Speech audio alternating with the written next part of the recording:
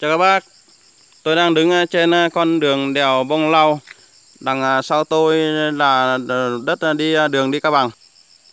Từ đây đến trung tâm thị trấn Thất Khê còn 14 km nữa.